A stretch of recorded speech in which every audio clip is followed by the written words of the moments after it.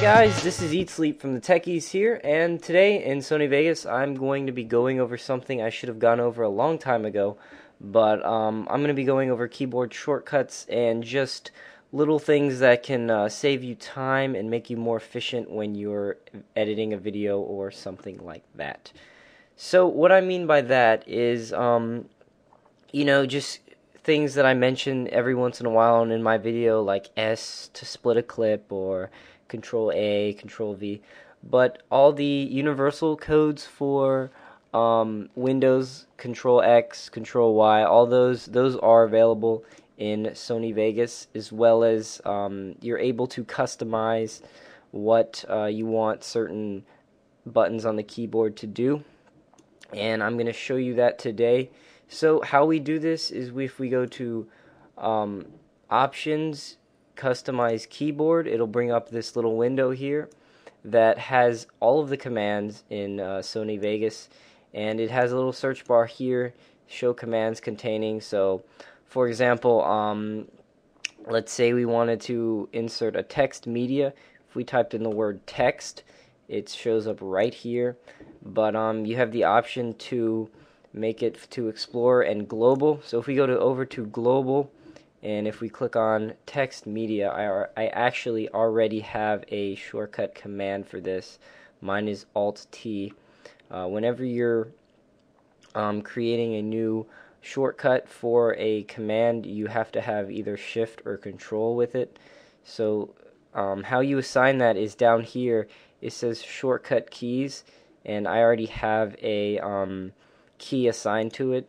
So like you could have anything you wanted and um, if it's already assigned to something else it'll show it down here. It says currently assigned to and then it'll be like oh you have two things doing the same thing. So um, you know you need to fix that or whatever. But um to show you that this works if I hit OK and I have it assigned to Alt T to insert a text if I right click and insert a video and audio track this is also another um, quick um, tip here.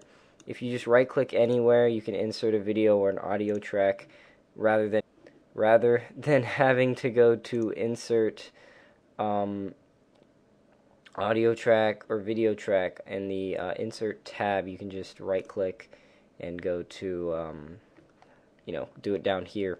And also shift control shift Q is to insert a video track if you wanted to go even further but I usually don't I just because it's just a, such a large space, you know, control, insert video track, or insert audio track, and they're right there for you.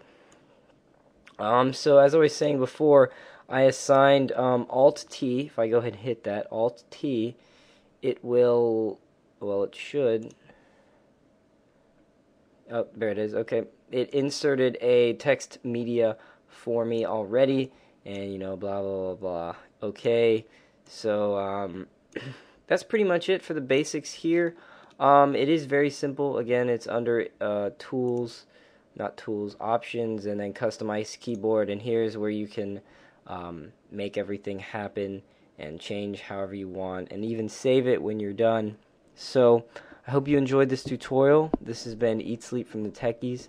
Thank you for watching. Be sure to check out the Techies website for great game and software reviews, as well as a database of all Techies videos. Also, please sign up to our forum where you can request a tutorial or just talk about something that interests you.